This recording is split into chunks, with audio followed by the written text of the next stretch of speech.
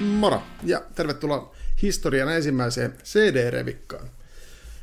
Ensimmäisen CD-revikan saa kunnialla aloittaa amerikkalaisorkesteri Megadeth ja heidän viimeisin levynsä The Sick, The Dying and The Dead. Tota, eli kuoret, mutta kun nämä heijastuu nämä kuoret niin pirusti, niin mennään täällä pelkällä. Tällä. Tällä, mikä tämä nyt sitten on? Tota, levyn oli tuottanut Dave Mustaine ja Chris Rakestraw, ja tämä tuli parisen kuukautta takaperi aina ski. Ja tuli jo aikanaan hankittua silloin, kun tämä levy julkaistiin.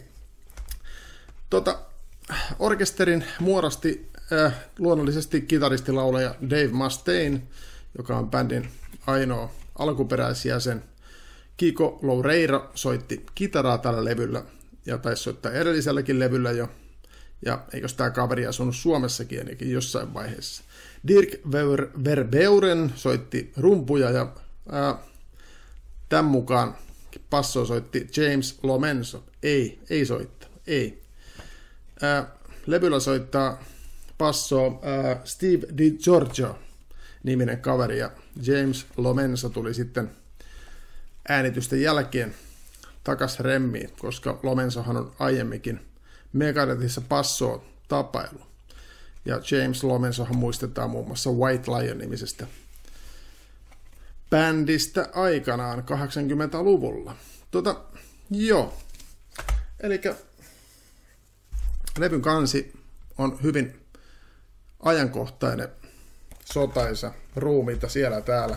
Ja levy alkaakin hienosti biisillä The Sick, The Dying and The Dead. Ja introssa jo huudellaan, että tuokaa ruumiit, tuokaa ruumiit. Ja keräillään tässäkin kuvassa. No, hyvin näkyy varmaan jo. Keräillään ruumiita ympäriinsä, mutta biisihän on hieno. Intro on hieno. Äh, loistava intro. Ei liian nopea tempo. Mä luen tässä, luen mitä mä oon kirjoittanut muistiinpanoja tästä. Ja tota, ei liian nopea tempo, hyvä semmoinen, no ei nyt mid-tempo, mutta vähän reippaampi. Ja tota, ää, mä oon kirjoittanut tänne, että tota, hienosti Dave Mustaine sanoo, tulee tietyissä kohti sana rest, niin se sanoo sen suomalaisitteen rest. Se kuulostaa niin suomalais, suomalaisen korvaan niin hyvältä, varsinkin tamperelaisen. Tota, joo, ja hieno tiputus keskivaiheella ja loputus aivan, aivan täydellinen. Mun mielestä niin kuin yksi levyn parhaita biisejä ehdottomasti. Ehdottomasti. Sitä seuraa Life in Hell, nopea temponen. Meikäläinen on kirjoittanut tänne, että lievästi ohi biisi. Tätä on pakko uskoa. Ja tota, kolmantena on Night Stalkers, nopea temposempi biisi, jossa Ice-T räppää biisin loppuosastolla puolen välin huitteella. Ja tota, kaasupohjassa mennään, kunnes ten, tempo putoo sitten jossain vaiheessa, ja, ja on kirjoittanut tämän, että biisillä on hieno lopetus. Eli tätä, tätä on pakko uskoa silloin, näin ollen. Neljäntenä Dog, Dogs of Chernobyl. Ja tämä on meikäläisen mielestä levyn parhaimpia biisejä. Tämä on ehdoton helmi. Moni voi olla eri mieltä tästä, mutta meikäläisen mielestä tämä helvetin hieno biisi. Toi intro on hieno ja jos mä ihan väärässä, niin se palalaikalla, toi intro, se kuulostaa ainakin siltä, että se olisi palalaikalla. Ja se on tota, hieno biisi. Eli meikäläisen mielestä levyn yksi parhaimmista biiseistä. Sitten viidentenä Sacrifice. Ja tota, on kirjoittanut tämän levyn huonoin biisi, Totaalinen ohimarssi. Eli vähän turhan päivästä teutarointia toi biisi. Chunky on kuudes biisi ja, ja tässä biisissä on toi sanoma ehkä tärkein, eli D. Eli Taavi Mustonen on kokenut kyllä ton huimausaineiden riippuvuuden sun muuta, eli tässä on su- isoin juttu tässä biisissä on, biisissä on tota selkeästi toi biisin sanoma. Tota, seiska biisi on Psychopathy mutta tämä on tänne intro, välisoitto. Mä en tätä edes niin arvioinut pisteissä, koska tämä niin kuin käytännössä ei olisi mikään biisi. Tämä on sellainen minuutin pätkä, se menee vähän niin kuin ohi. Sitten on Killing Time, mittempoinen, hyvä kertosää, hieno tiputus akustiselle ja seuraa helvetin hyvä soolo. Tämäkin on moni kattelu arvosteluita, niin monikaan ei tykkää tästä biisistä. Mun mielestä tämä on helvetin hyvä biisi. Ehdottomasti levin, levin parhaimpia. Kuten on myös seuraava, ja taisi olla ensimmäinen sinkku irrotuskin, tämä yhdeksäs biisi Soldier On. Hieno biisi, hyvä kertsi, hyvä tempo. Helvetin hyvä, hyviä biisejä, putkea. Sitten tulee kymmenentenä Celebutante, nopea tempo, tasainen paahto, eli toisin sanoen hiukan kuulostaa ohibiisiltä. En nyt tasan tarkkaan just muista, miten, miten tota, mutta mä nyt luen näitä muistiinpanoja, mitä mä kerrankin olen kirjoittanut. 11 biisi Mission to Mars. Helvetin hyvä intro, keskitempoinen, hyvä biisi, hyvä kertosää. Eli tämäkin kuuluu ehdottomasti levyn parhaimmistoon. Näin on kirjoitellut. Ja levy päättää Will Be Back, nopea tempoinen ohipiisi, kauhea tempo. Hyvä lopetus biisille, puolentoista minuutin kohdalla alkaa tiputus, tiputus tähän ja tota, aletaan ajaa niin kuin koneet alas, toisin sanoen tämän levyn osalta. Eli 12 biisiä ja jossain, jossain versiossahan tota, noita on pari biisiä lisääkin. Ainakin Spotifyssa katoin, niin siellä on pari bonusbiisiä. Eli siellä taisi olla coveri.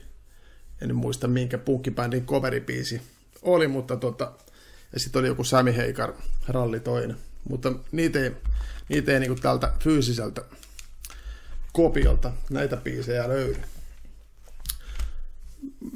Ihan yhteenvetona, tota, mun mielestä tämä on hyvä, hyvä Megadeth-levy. Ehdoton. En ole mikään järjetön Megadeth-fani.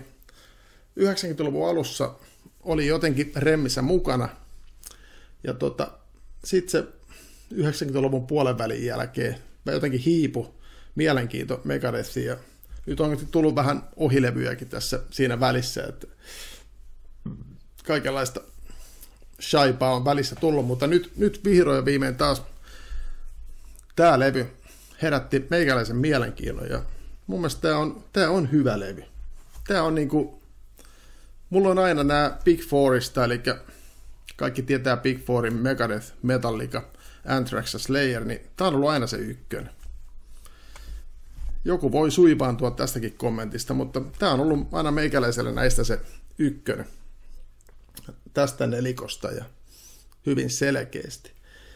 Tota, niin. Pisteitä, jos lähdetään työstään kyseisestä levystä, niin, niin tota, meikäläinen saa täällä niinkin hyvät pisteet kuin 8,3. Todella hyvä piste, todella hyvä. Ja mä väitän, että tämä on helvetin hyvä Megadeth-levy. Mä tykkäsin ainakin tosi paljon, tosi paljon. Taas niin kuin heräs mielenkiinto kyseisen orkesterin musiikkiin. Ja soitanta on viimeisen päällä ja soundit on helvetin hyvät.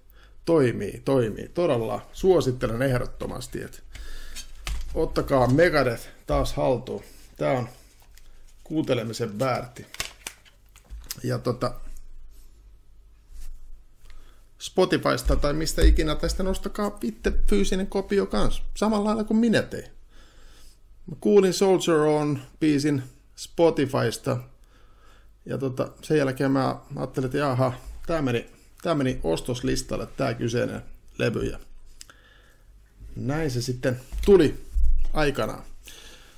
Mutta tämä oli tosiaan ensimmäinen CD-revikka ja nyt on sekin pää avattu. Nyt on kaikki väylät niin sanotusti aika ja nyt pitää miettiä mitä seuraavaksi. Voisi tietenkin noita tommosia listauksia tehdä, että voisi listata vaikka joku bändin, vaikka nyt esimerkiksi Megadethin levyt paremmuusjärjestykseen, eli flopista toppiin toisin sanoen.